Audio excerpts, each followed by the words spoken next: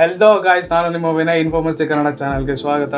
ಇವತ್ತಿನ ವಿಷಯ ಏನಪ್ಪಾ ಅಂತಂದ್ರೆ ಜಿಯೋ ಅವರು ಕಮ್ಮಿ ಬೆಲೆಗೆ ಲ್ಯಾಪ್ಟಾಪ್ ಅಂತ ಲಾಂಚ್ ಮಾಡಲು ಕ್ವಾಲ್ಕಾಮ್ ಮತ್ತೆ ಮೈಕ್ರೋಸಾಫ್ಟ್ ಕಂಪನಿಯೊಂದಿಗೆ ಎರಡ್ ಸಾವಿರದ ಹತ್ತೊಂಬತ್ತರಲ್ಲಿ ಜಿಯೋ ಲ್ಯಾಪ್ಟಾಪ್ ಅನ್ನ ಜಿಯೋ ಬುಕ್ ಹೆಸರಿನಲ್ಲಿ ಲಾಂಚ್ ಮಾಡಲು ಜಿಯೋ ಸಂಸ್ಥೆ ನಿರ್ಧರಿಸಿತ್ತು.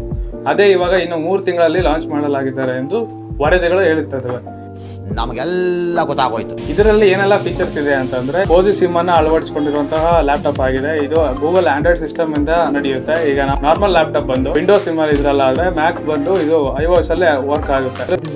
ಈ ಲ್ಯಾಪ್ಟಾಪಿನ ಫೀಚರ್ಸ್ ಏನಪ್ಪಾ ಅಂದ್ರೆ ಇದು ತರ್ಟೀನ್ ಪಾಯಿಂಟ್ ತ್ರೀ ಇಂಚಿನ ಡಿಸ್ಪ್ಲೇ ಹೊಂದಿದ್ದು. Thousand nine twenty by thousand eighty pixel resolution ಅನ್ನು ಹೊಂದಿದೆ.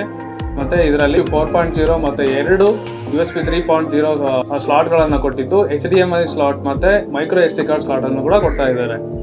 ಇದು ಗೂಗಲ್ ಆಂಡ್ರಾಯ್ಡ್ ಸಿಸ್ಟಮ್ನಿಂದ ರನ್ ಆಗುವ ರನ್ ಆಗೋದ್ರಿಂದ ರನ್ ಆಗೋದ್ರಿಂದ ಇದು ನಮ್ಮ ಜನಸಾಮಾನ್ಯರಿಗೆ ಈಸಿಯಾಗಿ ಆಂಡ್ರಾಯ್ಡ್ ಫೋನ್ ಯೂಸ್ ಮಾಡೋ ಥರನೇ ಯೂಸ್ ಮಾಡ್ಬೋದು. ಆ ತರ ಸೊ ಈಸಿ ಸಿಸ್ಟಮ್ ಇವರು ಲಾಂಚ್ ಮಾಡ್ತಿದ್ದಾರೆ. ಇದ್ರ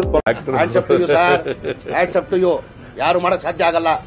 ಪ್ರೊಸೆಸರ್ ವಿಷಯಕ್ಕೆ ಬಂದ್ರೆ ಇದು ಇಂಟೆಲ್ ಪೆಂಟಿಎಂ ಕ್ವಾಡ್ಕೋರ್ ಪ್ರೊಸೆಸರ್ ಅನ್ನು ಹೊಂದಿದ್ದು. ಈ ವಿಡಿಯೋ ಇಷ್ಟ ಆಗಿದ್ದಲ್ಲಿ ನಮ್ಮ ಇನ್ಫೋಮಸ್ತಿ ಕನ್ನಡ ಚಾನಲ್ ಅನ್ನ ಸಬ್ಸ್ಕ್ರೈಬ್ ಮಾಡಿಕೊಂಡು ಬೆಲ್ ಐಕನ್ ಒತ್ತಿ ಮತ್ತೆ ನಿಮ್ಮ ಸ್ನೇಹಿತರಿಗೂ ಕೂಡ ಕಳಿಸಿ.